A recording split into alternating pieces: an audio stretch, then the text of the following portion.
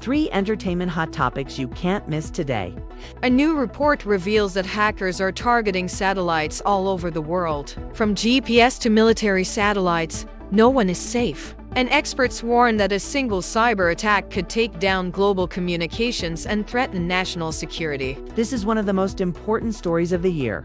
The space race is heating up, and it's not just a technological competition anymore. It's a full blown digital warfare in orbit. Plus, we have breaking news from the set of The Idol. The HBO series has officially wrapped filming. The series, which stars Lily Rose Depp and The Weeknd, has been plagued with production issues and multiple rewrites.